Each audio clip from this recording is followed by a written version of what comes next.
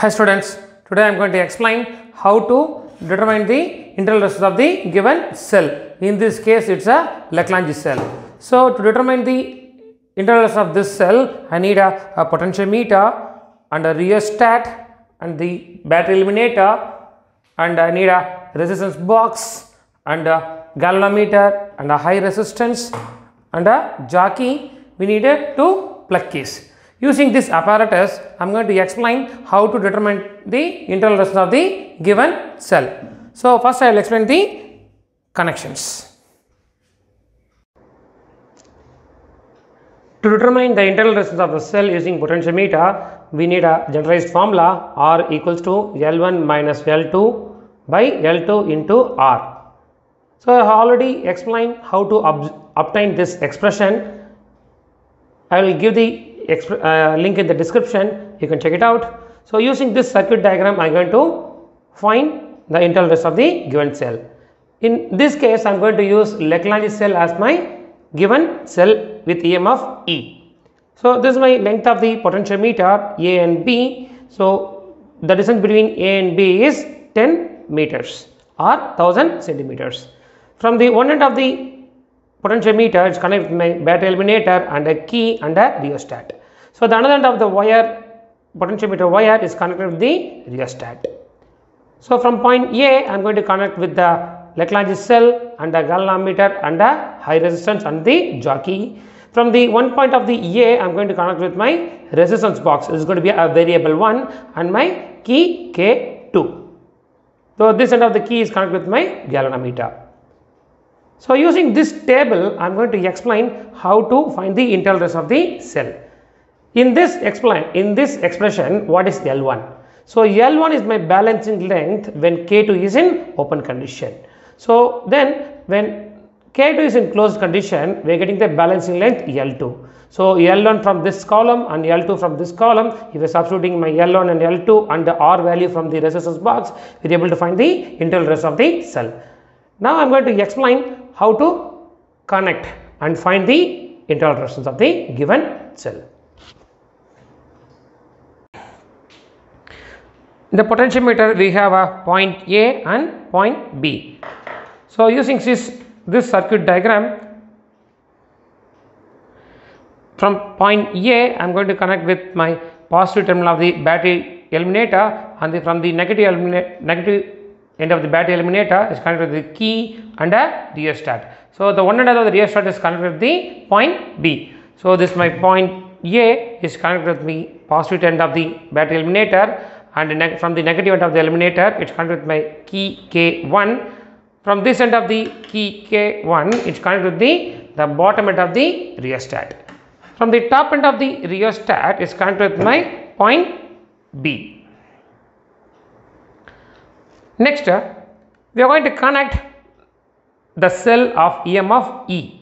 We just want to find the internal resistance of the this cell. From point A, it is connected with my positive terminal. From the negative terminal of the given cell is connected with my galvanometer and the high resistance. So, from point A, I am going to connect with the positive terminal of the given cell. In this case, it is a Leclanché cell. We just want to find the internal resistance of this Leclanché cell. So, from A to positive terminal from the negative terminal of the Leclanché cell is connected to the galvanometer from the galvanometer to high resistance and high resistance to the jockey. From point A we take another connection to the R this is my resistance box.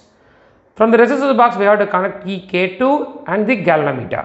So, from A to the gal uh, the resistance box from the resistance box to the key K2 and the galvanometer. So, my key K is in now in open condition. So, now I am going to switch on the battery eliminator and the Leclanché cell. So, we are going to find the balancing length when key K2 is in open condition. So, is in open condition. So, first I am going to using this jockey to find the deflection. If I place my jockey here, I am getting right side deflection, absorb the galvanometer. If I place my jockey here, I am getting left side deflection. So, in between this end and this end we have a balancing point. So we are going to find the balancing point. So this starts from 0 and end with 100 from 100 to 200. So I am going to find here. So is in the right hand side in this wires also this is in the right hand side. Now we are in 200. We are starting from 201.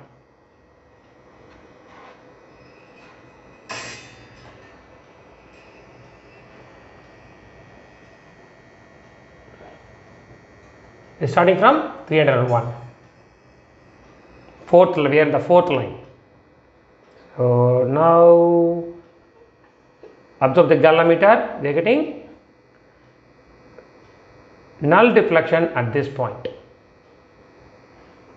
So if I measure the distance here now we are in the fourth line. From here to here 100 200 300 from 301 to so this is my length we are measuring here 342 so this is the value of the balancing length we have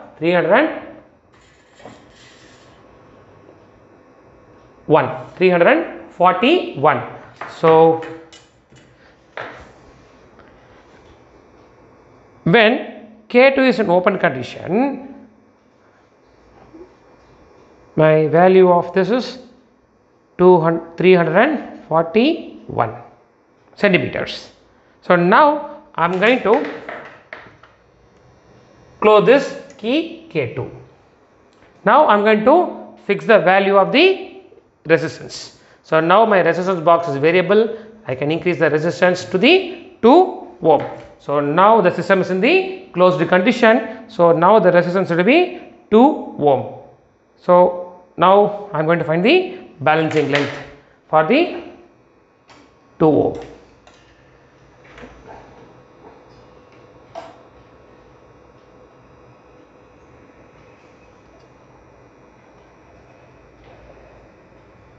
So, we are getting the balancing length in the first line itself from 0 to first line itself we are getting the balancing length. So, if you are measuring the value here it's approximately 68 centimeter. So 68 centimeter. So my L2 is a balancing length when K2 is closed which means my R is included now then it will be 68 centimeter. So now I am going to increase the value of R from 2 to 4 ohm. So now I am going to find the balancing length. So this is a right side deflection, this is my left side deflection. So the balancing length lies between A and B. So now I'm going to slide over here. So till 100 there is no zero deflection. I'm starting from 101.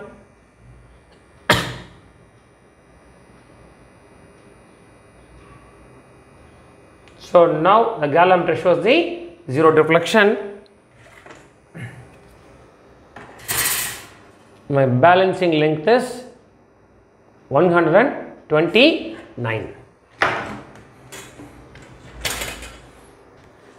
so balancing length when k2 is closed 129 for the resistance of 4 ohm so l1 is same for all the resistance when the K2 is in open condition. L1 won't change. So now I am going to increase the resistance value from 4 to 6 ohm. So now if I place here right side deflection, if I place this here, I am doing left side deflection. So I am going to vary my value from here, sliding over. So till 100 there is no zero deflection. Then I'm going to start from 101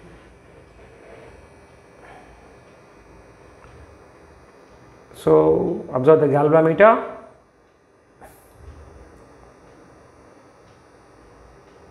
Now the galvanometer shows the zero deflection so if I'm measuring the value here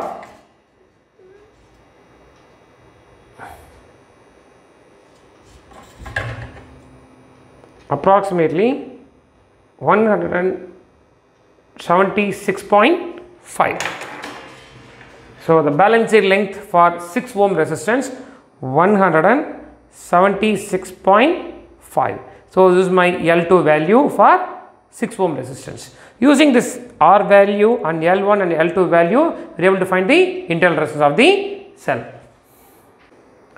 using the resistance value R is 2 and L1 is 341 and L2 is 68 for the first observation the internal resistance of the cell is 8.029.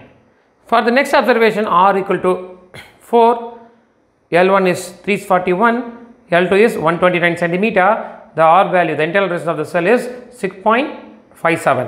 For the third observation my R equal to 6 L1 is 341 L2 is 176.5 we are getting the value of internal resistance is 5.622. So, the internal resistance lies between 5.622 to 8.029. So, you have to write the result